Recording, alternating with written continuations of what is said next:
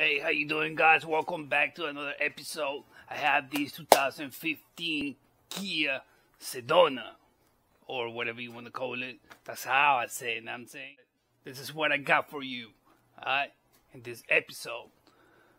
Other than that, thank you for the uh, new subscribers, all subscribers, newcomer subscribers. I appreciate it. Thank you for the love. Thank you for the help. Thank you for the support. Where would I be without you? Now I'm saying I appreciate it. Like I say. Other than that, don't forget to subscribe to my channel. Hit the like button. Destroy the subscribe button. That's the main thing. That's your goal. Alright. That's what you gotta do. Hit the subscribe button. Do the same with the like button. Maybe you know someone your friend has a 2015. It doesn't it doesn't matter the year, but this is a 2015. So if your friend has a 2015 Kia Sedona, give it to them. Now I'm saying share this video and the most important thing besides of subscribing to my channel. Your feedback put in the comment box for me. Yeah i mean anything anything you need to say any idea any suggestions maybe you know a better way to do this which i doubt. I'm not saying i'm better but this is how i do it know what i'm saying? I don't want to hold you up do that for me. And also use super chats and super stickers. Alright, have fun with that. Try that out. I'm not gonna hold you up no more. Do that for me. Alright. And have fun. I hope you like this video. Highlight like your boy. After after all this, I'm gonna come back and tell you uh, you know, what happened. Other than that, oh, in this video, I'm to show you two ways of how to replace the rear brake pads. Rear rotors and rear brake pads in this 2015 Kia Sedona. You feel me? Let's do it like a pro. Now me with me, Axtuo. Thanks for the support. Highlight your boy. I see you. After the replacement. You feel me? Hana. Okay, so what I'm gonna do is I'm gonna show you different ways of how to replace these brake pads because when you do this job, you're gonna face different problems. You feel me? So I'm gonna get you ready to tackle these problems.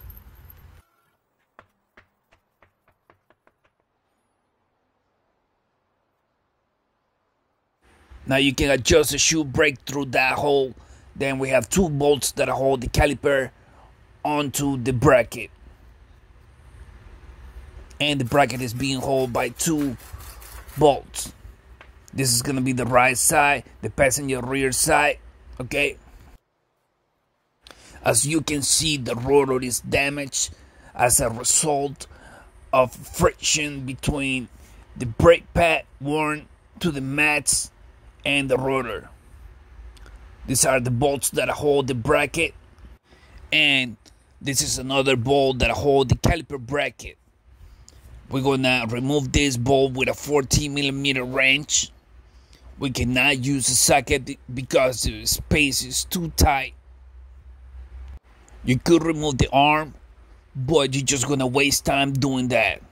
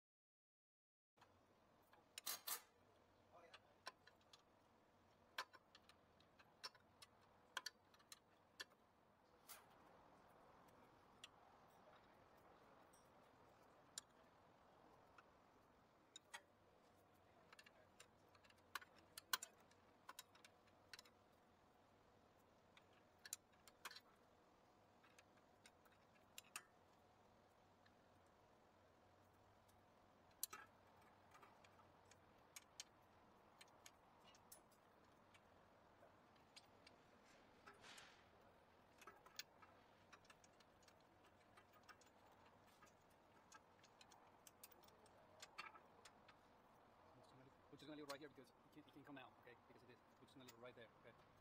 Now we're gonna do the guy right, right here.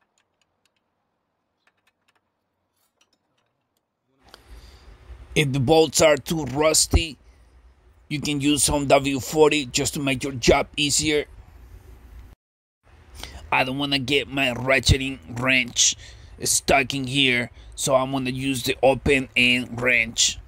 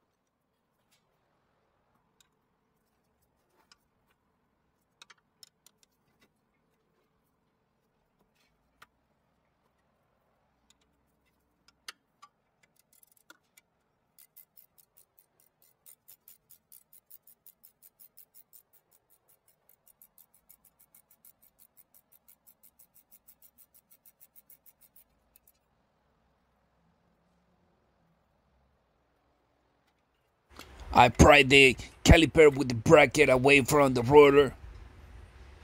Like so. Now to make my job easier and faster, I'm gonna use the ratchet wrench cordless with a 14 millimeter socket.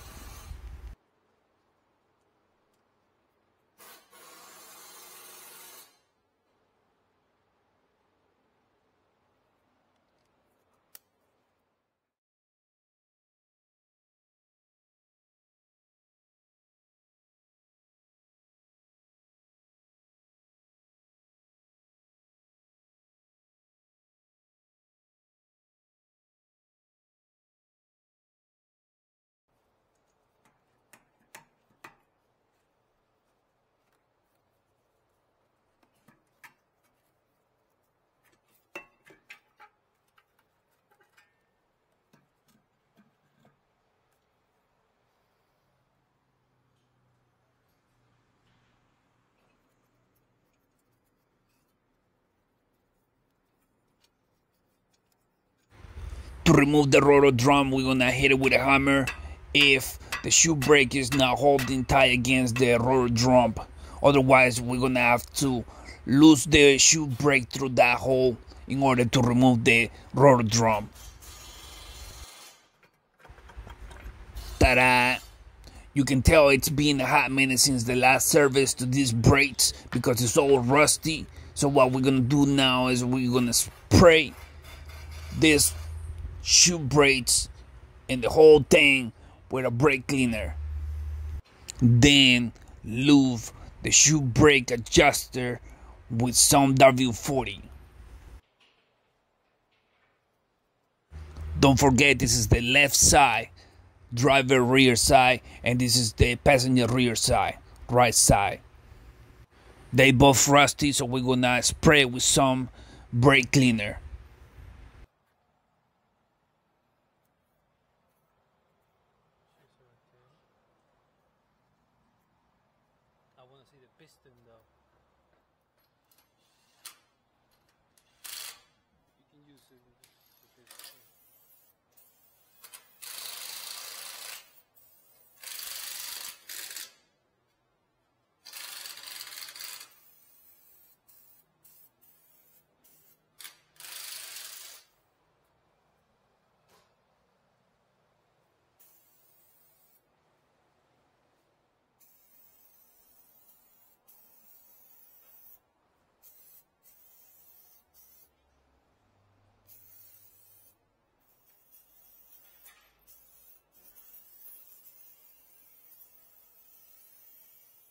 We're gonna shoot the bolts that hold the caliper onto the bracket with a 14 millimeter socket like I told you before.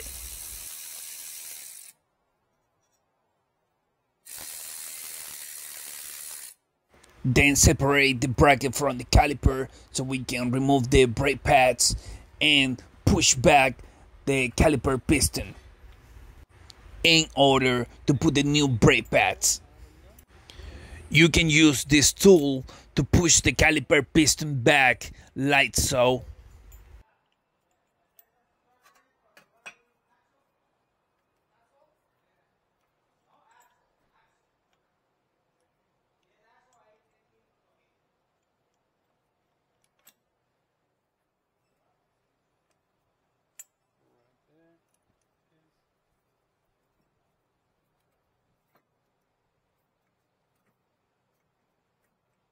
means it's good.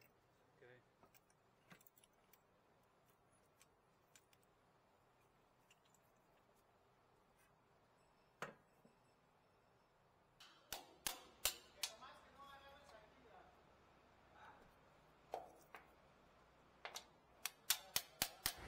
Time to remove the old brake pads. And after that, I'm gonna check the bracket hardware, which don't look promising. So I'm gonna replace it. We can reuse it or change it. Now make sure the bracket sliders slide in and out with no problem because if they do, they're gonna kill your brakes faster. I'm lubing the shoe brake adjuster with some W40 just to make it work as designed.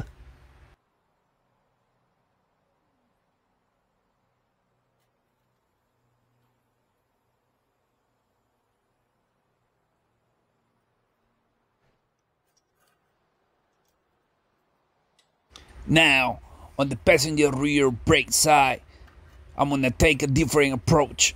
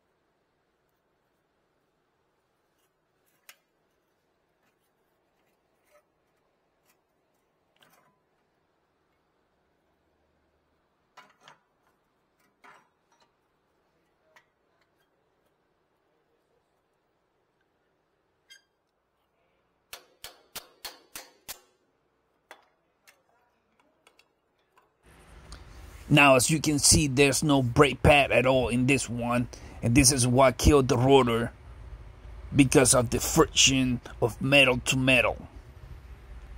This is the difference between a brand new brake pad and a worn to the mats brake pad. Now, this right here, this is butter, bro. This is the, the, the liquid metal. Now I'm saying this is the T1000. Now I'm saying this is the brand new rotor drum.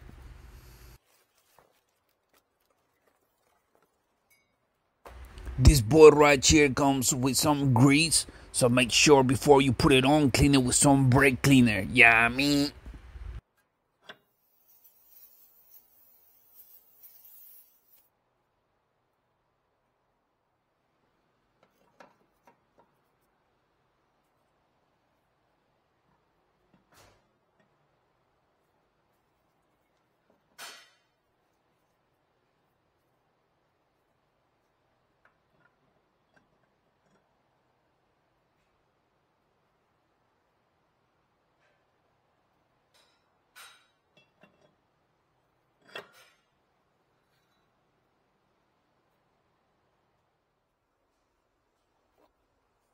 And this one right here this one right here this is the hardware.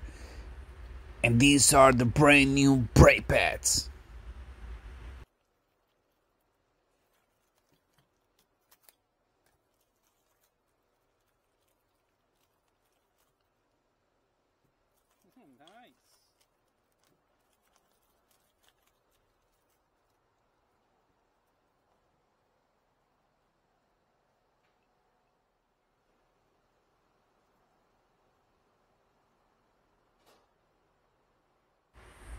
this bracket hardware don't look good at all.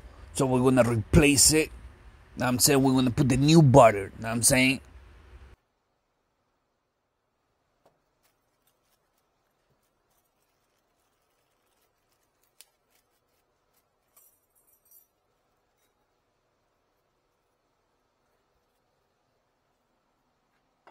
Now, we popping now the old hardware because it's not good at all with a flat screwdriver or with anything that you can pry with. Then of course brush off or scratch off the rust so the hardware, the new hardware, sit well on this bracket.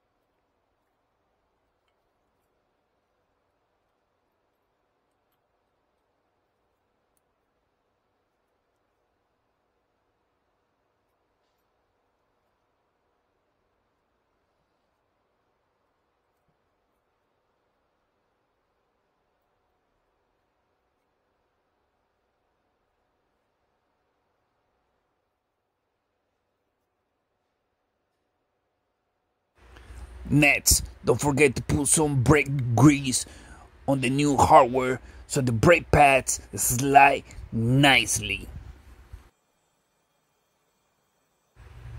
We installed the rotor drum on, then we put the bracket on, and of course don't forget to put the two bolts that hold the bracket in position.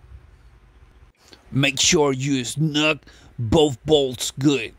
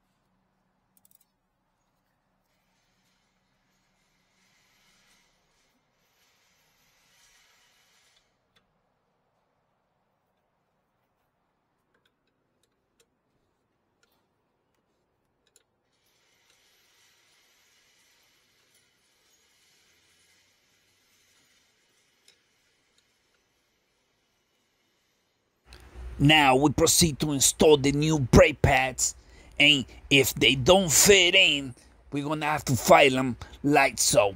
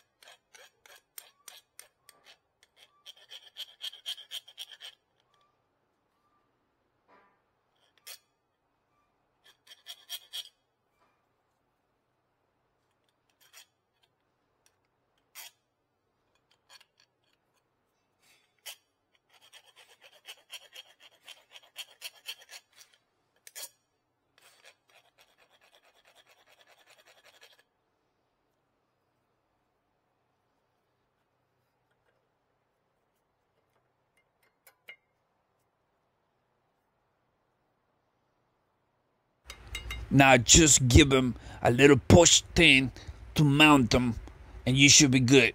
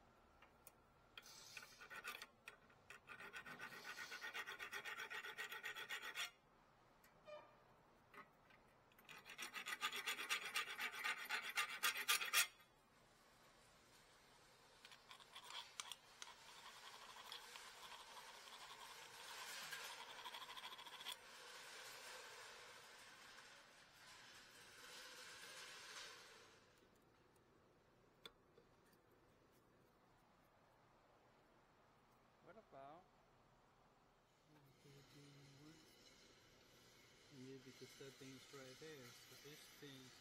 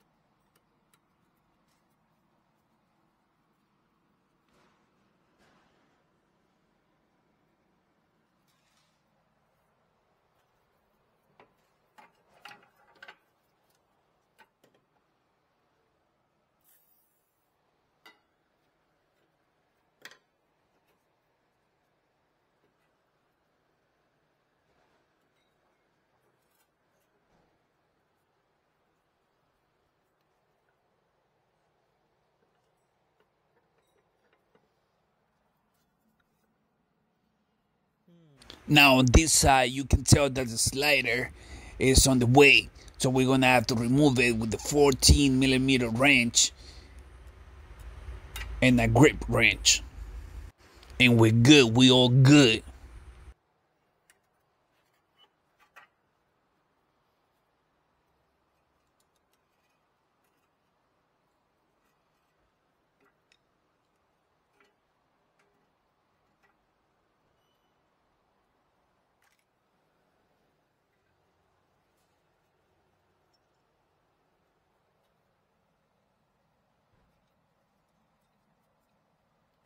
Make sure you grease the sliders.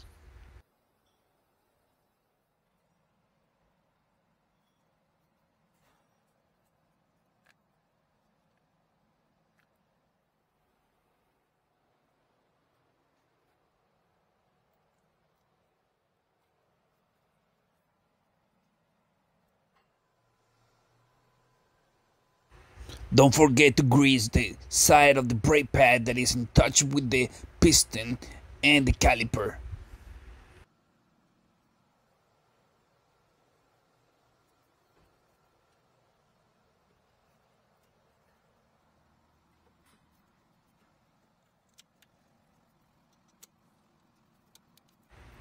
Put the bolts back, snug them, and you're good. We're good.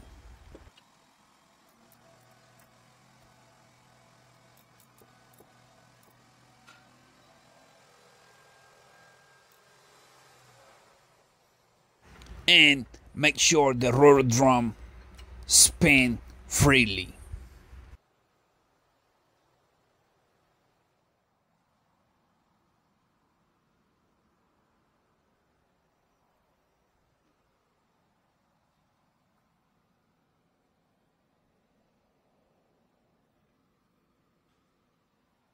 Hey, how you doing, guys? Welcome back. It's back. I'm back. Me. How you doing? I hope you're doing okay. And I hope you like the video. I hope you enjoy it. This is how you replace the rear brake pads and rotors in this 2015 Kia Sedona LX. Yeah. Thank you for watching. I appreciate it. Before I go, I just want to say thank you to all my new subscribers, all subscribers, newcomer subscribers. I appreciate it. Thank you for the support. Thank you for the love. Thank you for the help. Yeah, I mean, where would I be without you? Other than that, please don't forget to subscribe to my channel. Alright, hit the subscribe button, bang it, hit it hard. The subscribe button. Do the same with the like button. Maybe you know someone that has uh, Kia Sedona LX. It doesn't matter the year. Know what I'm saying? Just share this video. They're gonna appreciate it. And the feedback put in the comment box for me. This was the video how to replace the rear rotors and brake pads in this 2015 Kia Sedona. Alright. Two ways of how to replace it. Maybe there's more more than two ways, but uh personally I wanna I wanted to show you different ways, two ways how to replace these rear brake pads and rear rotors. Now I'm saying, I say I hope you like it, I hope you enjoy, and I'm not gonna hold you up no more. Play with the super chats and with the super stickers. Yeah, I mean, have fun with that. Try that out. Hey, I forgot to say that uh now I'm saying you remove the tire, remove the caliper, remove the rotor, put the new rotor, put put the the caliper bracket, put the pads, put the caliper on the bracket, put the tire back, and road test it. Hear for any sound. Now I'm saying, drive it in the in the in, in your town first, and then drive it in the highway. You don't need to drive it in the highway, but you know, just just for the sake. Know what I'm saying. I was gonna mention something else. Oh yeah, I wanna give shout outs to uh give me one second, let me see. Yeah, I wanna I wanna give shout outs to uh Binkley. I'm sorry if I mentioned it wrong. Binkley, thank you, I appreciate it. Ronica Bossy, Eric Santiago, FGS Panda Bear. Shout outs George Gonzalez San Diego Mover. Thank you, I appreciate it. Thanks for the for the comments. Shout outs to them. And uh that's it. Alright. Drive around, road test it, at your boy. That's all you gotta do. Alright? Like a pro, a stool, boodoo. Me.